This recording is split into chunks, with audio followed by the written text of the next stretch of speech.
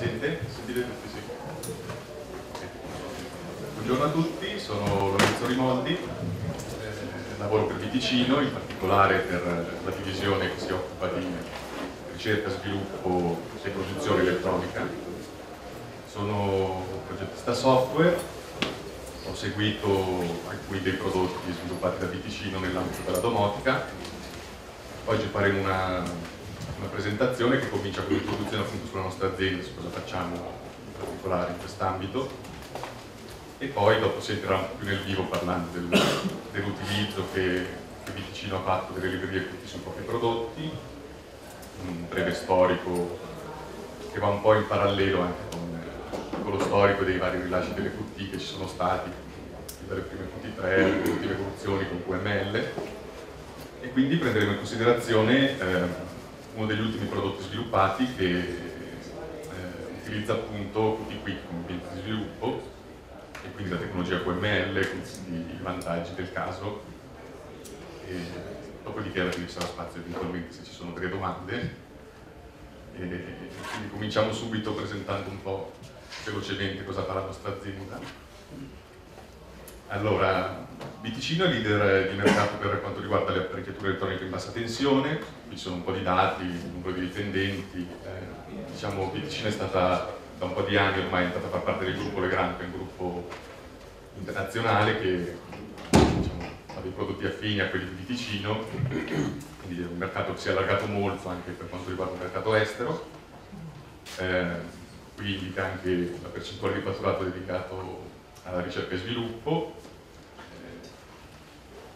In particolare noi lavoriamo nella sede appunto in cui si fa progettazione elettronica, è la sede di di Erba in provincia di Como, ci sono tante altre sedi di Ticino in Italia che sono a Varese, Bergamo e abbiamo diversi marchi che sono legati soprattutto alle aziende che sono state acquisite da Viticino, eh, si parla dei marchi Viticino, Legrand ovviamente, poi anche Zucchini, Octronics, Cablofil, Vantage. E Ticino, in particolare la nostra, la nostra sede si è partita occupandosi della videocitofonia per poi passare intorno al 2000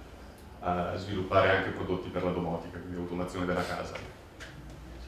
Qui c'è una piccola mappa che diciamo, presenta un po' come è distribuito il mercato di Legrand, un po' in tutto il mondo, quindi sì, il mercato B2C, che è prevalentemente italiano, si è espanso un po' anche nel mercato estero. Questa è una presentazione del nostro site. Eh, diciamo che appunto, qua, eh, come avevo detto, indica che eh, si occupa prevalentemente degli impianti di videocitofonia, e di tutto il, il catalogo MyHome, che diciamo è il marchio che rappresenta la domotica Viticino e le Grand. Qui c'è una presentazione appunto di quello che è l'offerta MyHome della domotica, qui parla di bus SCS che diciamo è un po' la base su cui è nato il nostro sistema. Il bus SCS rappresenta il sistema di comunicazione tra tutti gli apparati che, che partecipano appunto all'impianto domotico il modo in cui tutti i dispositivi si scambiano le informazioni e vengono mandati i comandi, controlli di stato dei vari dispositivi. Questi sono i due marchi principali, sono Viticino e Legrande, qui sono indicate le, eh, le, varie, le varie serie legate soprattutto all'estetica. I prodotti vengono infatti sviluppati eh, con varie estetiche e con, eh, con, due marchi diversi a seconda che il mercato sia quello italiano o quello internazionale gestito dalle grandi. Qui vediamo appunto al centro del sistema l'SCS che è il nostro bus, un bus proprietario eh, sul quale avviene lo scambio di, di frame, che non sono altro che i comandi delle stringhe appunto, che codificano tutti i messaggi tra i vari dispositivi è un bus a due fili molto semplice, la semplicità è stata un po' il punto di forza di questo, questo sistema all'inizio per quanto riguarda l'installazione e anche lo sviluppo. Questo bus consente di trasportare appunto tutti i messaggi, consente di trasportare ovviamente una divisione di banda, trasporta anche eh, il video della videocitofonia,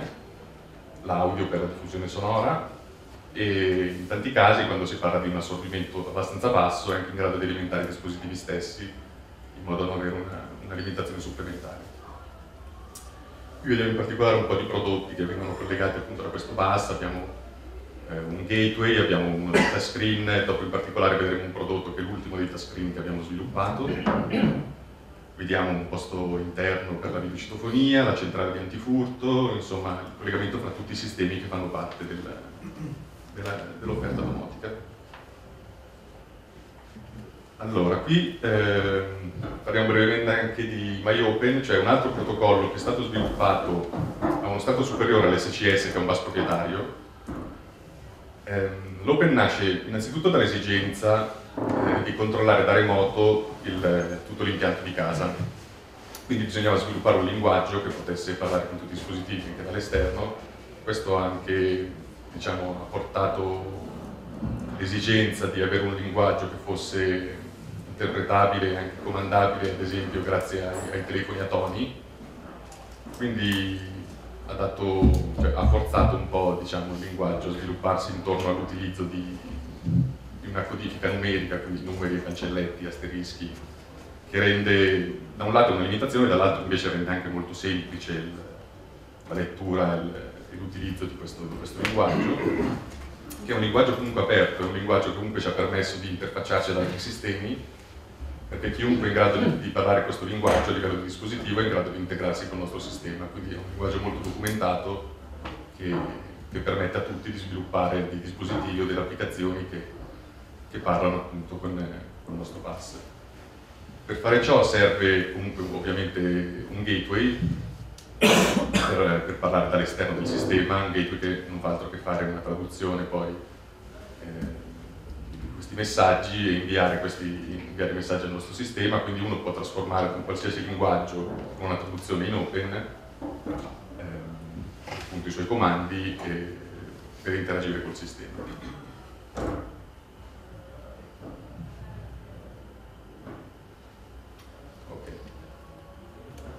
Eh, in, principio il gateway era la centrale antifurto, qui spiega ancora che appunto il protocollo di comunicazione è basato sui toni,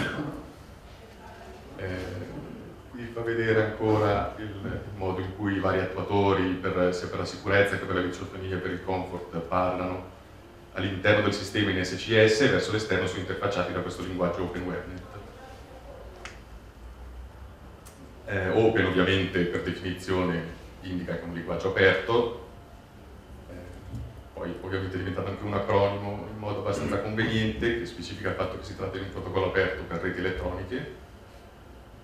eh, è un linguaggio che va su diversi mezzi di trasmissione, indipendente dal, dal metodo di trasmissione, infatti si, non si tratta intanto che di stringhe che viaggiano, possono viaggiare su seriale, RS232, su USB,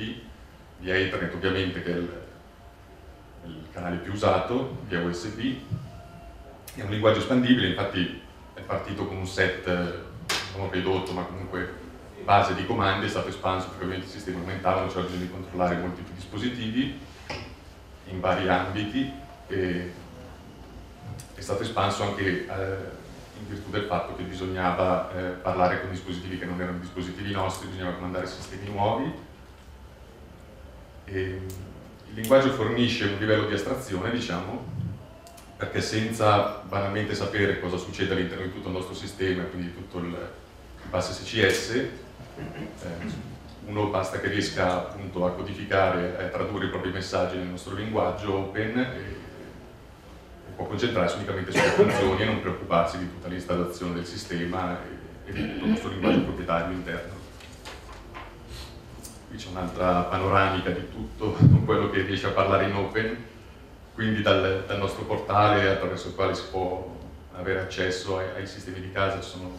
tutti i comandi disponibili, le pagine web, i vari touchscreen, i gateway, le, i software che girano su desktop ovviamente per il controllo del sistema. Eh, qui si vede eh, in modo molto semplice diciamo, come è strutturata l'architettura di un dispositivo. In particolare qui c'è un, un touchscreen che è stato uno dei primi a essere sviluppati, il touchscreen da 3 pollici e mezzo. Vediamo l'architettura software è data da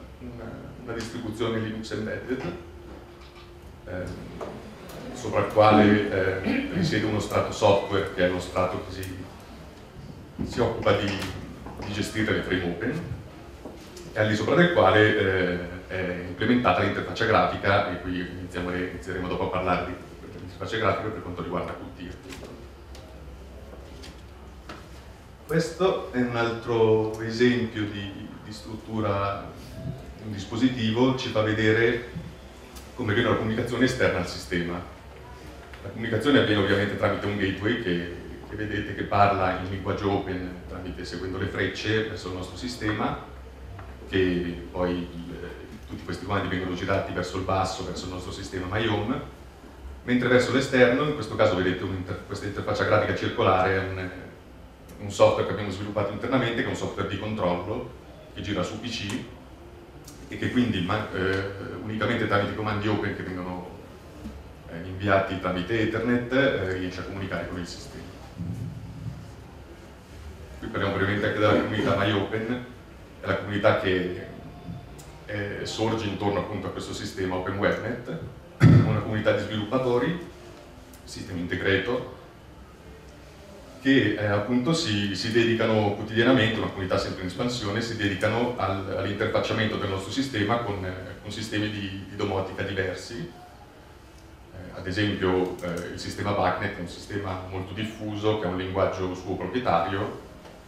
che abbiamo cercato di, di integrare nel nostro sistema appunto per ampliare l'offerta, per poter comandare dispositivi che non fossero i nostri e dare la possibilità appunto di, di realizzare impianti molto più complessi, anche personalizzati. Brevemente potete vedere la pagina web della comunità alla quale potete collegarvi e vedere che genere di applicazioni sono state implementate. Ora cominciamo a parlare un po' più di Qt e della storia che abbiamo avuto con Qt in Ticino. Innanzitutto i motivi della scelta di Qt sono, vabbè, non spetta a me dirlo, ma ovviamente la qualità delle librerie, il fatto che siano strumenti di sviluppo sempre più nuovi e sempre più completi, come nelle ultime versioni è Qt Creator, prima Qt Designer e tutti gli strumenti che aiutavano nello sviluppo. Il fatto molto importante che sia multipiattaforma, cioè il fatto che si possano realizzare e portare applicazioni su dispositivi completamente diversi, su desktop e sistemi operativi di qualunque tipo, il fatto che abbia una licenza decisamente aperta che permette sia per di sviluppare per ambito personale, ma anche nel nostro caso in ambito commerciale applicazioni.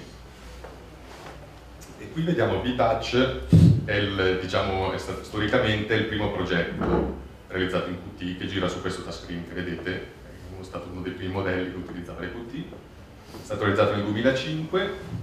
è inizialmente sviluppato completamente all'interno di Viticino, mentre nel 2008 è iniziata una collaborazione con Develer che diciamo, ha competenze sicuramente maggiori rispetto a noi in quest'ambito e, e, promuove molto l'utilizzo delle Qt ed è stato eh, praticamente riscritto con, eh, con, tutte le migliorie del caso e con la possibilità appunto di, di dargli un'architettura più estendibile, più riutilizzabile all'interno di vari prodotti. Qui c'è uno storico seguendo appunto la cronologia di quello che abbiamo fatto per le varie versioni Qt partiamo appunto su, dal 2005 con le Qt ancora, ancora Qt3 quando si chiamavano probabilmente ancora Qt Embedded che giravano su un hardware basato su Pixar 255 piano piano il crescere appunto delle, delle versioni delle Qt eh, ci, dedicavamo al porting per poter utilizzare versioni nuove di Qt sui dispositivi e quindi approfittare di tutte le nuove funzionalità di, tutti, di tutte le migliorie. Siamo arrivati ultimamente col, col prodotto che presenterò fra, fra breve. Um, alla nuova versione di Qt siamo partiti dalle 4.7 che erano le prime che implementavano anche QML Qt Quick attualmente abbiamo in produzione un dispositivo che, che è basato sulle 4.8 nello sviluppo che stiamo seguendo adesso è già previsto di utilizzare le Qt 5 quindi le versioni più nuove Qui fa vedere che poi Vitach appunto essendo molto modulare ed essendo stato definito una, una chiara separazione tra quello che è la logica del sistema e l'interfaccia grafica, è stato facile portarlo su vari dispositivi e riadattarlo in tanti modi. Qui ad esempio vediamo che un altro touchscreen un po' più evoluto è il primo touchscreen da 10 pollici,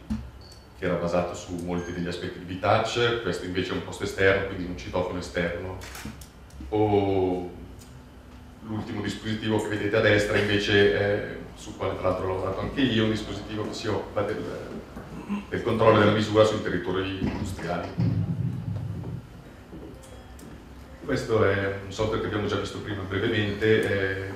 è, un software per desktop che fa vedere chiaramente come l'aspetto multipiattaforma sia stato fondamentale perché realizzandolo in tutti puoi girare su Windows, Linux e Mac, ha il controllo totale di tutti i sistemi gestiti dal, dall'impianto Viticino, quindi illuminazione, automazione per tapparelle, cancelli, eccetera, eccetera, la gestione degli scenari, termoregolazione, eh, sensori di luce, diffusione sonora, controllo carichi, controllo energia, tutti anche i sistemi più nuovi. Abbiamo varie schermate che dimostrano appunto che questo, con, con, un piccolo lavoro di porting è stato possibile far girare questa applicazione su tutti e tre i sistemi principali per desktop che sono Linux, Mac e Windows. Queste sono delle schermate che riguardano il, il prodotto che fa un po' da predecessore di quello che vedremo a breve, che era il primo touchscreen multimediale 10 pollici e che poi appunto si è ritrasformato completamente con una nuova interfaccia nella nuova versione perché siamo passati recentemente alle tutte più nuove, quindi è stata riscritta tutta con tutti quick e UML. Ok, questo è il nostro touchscreen 10 pollici, iniziamo, c'è un filmatino da un minuto che fa vedere un attimo, siccome non era possibile portare il dispositivo, fa vedere brevemente di che cosa si tratta.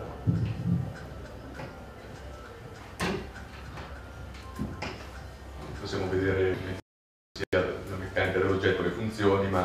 in particolare vediamo che cosa è in grado di fare l'interfaccia grafica.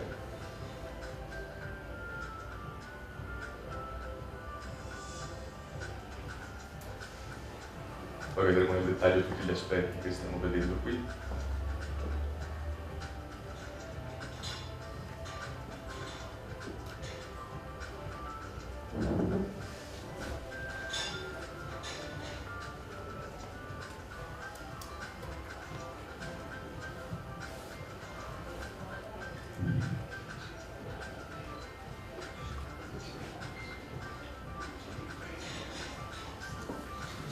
Innanzitutto come oltre alle funzioni di domotica che sono comandabili dal dispositivo ci sono anche molte funzioni multimediali, dopo elencheremo cosa siamo stati in grado di introdurre nel, nel dispositivo anche grazie appunto al supporto del tutti.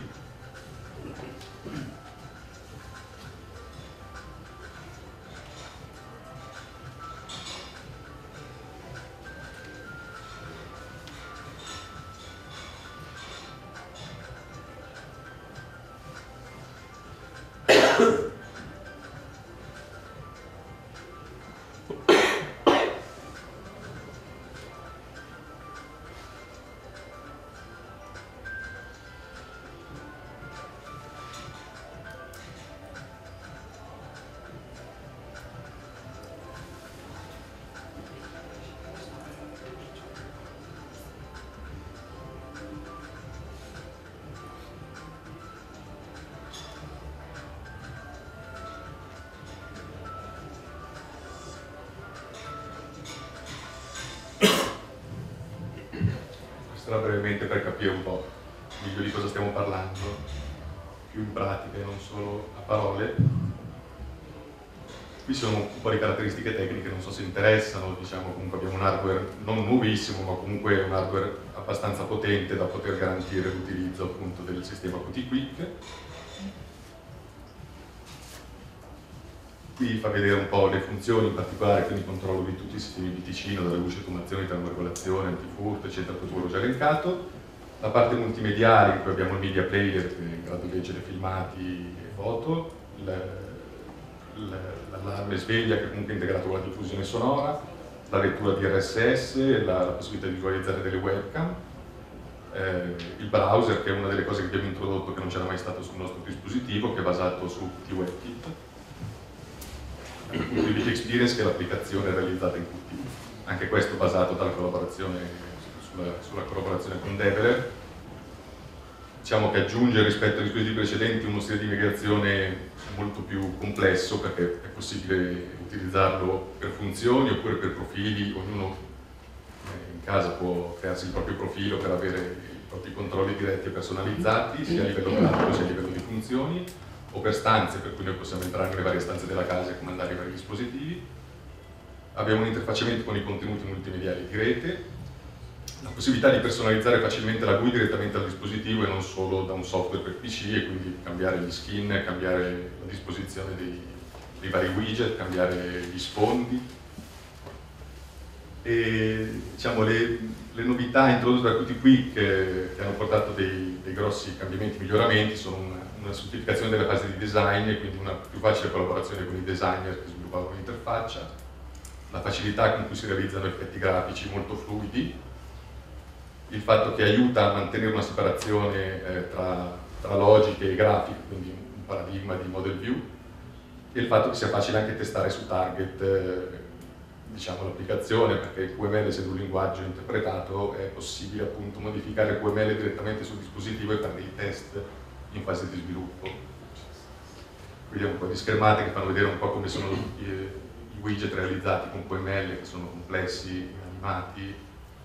e sicuramente hanno offerto molte più possibilità rispetto alla vecchia tecnologia Qt Widget, che comunque è ancora molto utilizzata da noi.